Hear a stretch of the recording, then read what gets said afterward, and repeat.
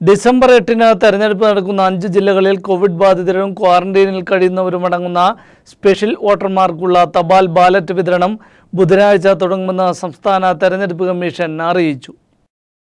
വോട്ടെടുപ്പ് നടക്കുന്നതിന് പത്ത് ദിവസം മുമ്പ് പോളിംഗ് ദിവസത്തിന് തലേന്ന് മൂന്ന് മണിവരെ രോഗികളാവുന്നവരും ക്വാറന്റൈനിൽ പ്രവേശിക്കുന്നവരും പട്ടികയിൽ ഉൾപ്പെടും. കോവിഡ് പശ്ചാത്തലത്തിൽ പഞ്ചായത്ത് മുനിസിപ്പാലിറ്റി ആക്ടിൽ ഭേദഗതി ചെയ്താണ് ഈ സൗകര്യം ഏർപ്പെടുത്തിയത്. കോവിഡ് ബാധിതരാകുന്നവരും നിരീക്ഷണത്തിലാകുന്നവരും അപേക്ഷ നൽകാതെ തന്നെ തപാൽ വോട്ടിന് അർഹരാകും. കോവിഡ് രോഗികളെ സഹായിക്കാൻ വേണ്ടി പ്രത്യേകമായി ഒരു അഡീഷണൽ ഫെസിലിറ്റിയാണ് പ്രൊവൈഡ് ചെയ്തിരിക്കുന്നത്. അതൊരു അഡീഷണൽ ഫെസിലിറ്റിയാണ്.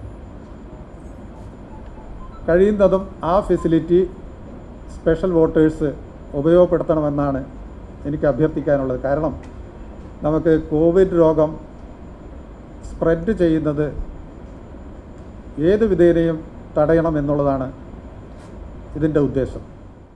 തെരഞ്ഞെടുപ്പ് ഡ്യൂട്ടിക്ക് നിയോഗിക്കുന്നവരിൽ അപേക്ഷ നൽകിയവർക്കാണ് സാധാരണ തപാൽ വോട്ട് അനുവദിക്കുന്നത്. കോവിഡ് രോഗികളുടെ പ്രത്യേക സാഹചര്യം പരിഗണിച്ചാണ് ഈ നിബന്ധന ഒഴിവാക്കിയത്.